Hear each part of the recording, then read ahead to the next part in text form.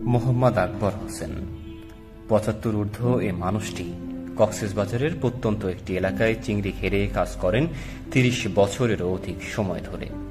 সনাতন পদ্ধতিতে চিংড়ি মাছ আহরণ ও রক্ষণাবেক্ষণের প্রক্রিয়া তাকে দিনে দিনে আরও ক্লান্ত করে তুলেছে। যে বয়সে তার মতো অনেক মানুষ নিরাপদ জীবন উপভোগ করছেন, সেখানে জোয়ার ভাটার মতো জীবন সংগ্রামে আকবর হোসেন হাবুডুবু খাচ্ছেন প্রতিনিয়ত। বয়স তার কাছে শুধুই একটি সংখ্যা। বাবা আপনি এখানে কতদিন ধরে কাজ করছেন এবং কি কাজ করছেন? এখন আমি এখানে কাজ করতেছি।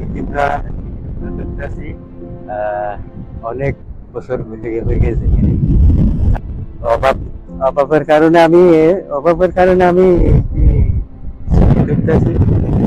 অভাবের সংসারে পরিবারের কাউকেই পড়ালেখা শেখাতে পারেননি আকবর সাহেব। প্রতিনিয়ত চিংড়ি আহরণ ও রক্ষণাবেক্ষণের এই প্রাচীন পদ্ধতি এই বয়সে তাকে ফেলছে ঝুঁকিতে।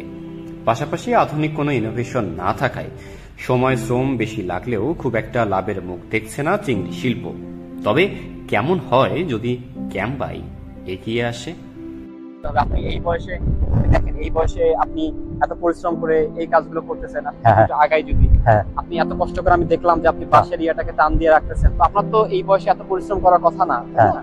তো আমরা যদি আপনাকে এমন কোন যন্ত্র তৈরি করে দিই যেখানে কিনা আপনি খুব সহজে মাছগুলোকে রক্ষণাবেক্ষণ করতে পারবেন হ্যাঁ। বা এটা আপনি বাসায় বসে এটা করতে পারবেন হ্যাঁ। এটা কেমন হবে আপনার জন্য এটি হেতু খুব ভালো হবে আমার খুব ভালো হবে আপনার ভালো ভালো থাকবেন আকবর সাহেব আপনাদের জন্যই আসছে ক্যাম্বাই টিভি শো।